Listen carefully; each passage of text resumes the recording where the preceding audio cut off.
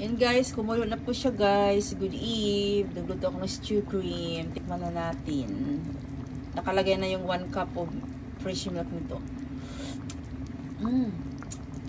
Masarap.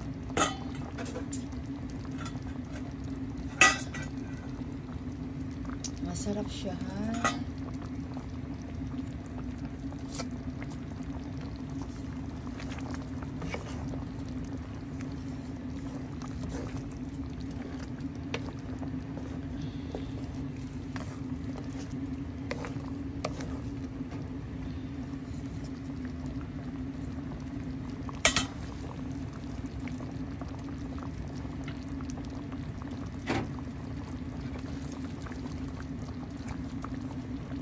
Ito po yung saho guys oh, sa Japan. House ang maker niya, brand maker yan.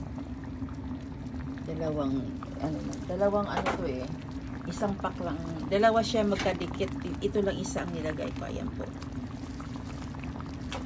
Sarap po. May, ano, igisa nyo sa butter yung ano, itong mga sahog niya. May kaming baboy patatas, carrots, and broccoli po. Bye! Sana magustuhan niyo.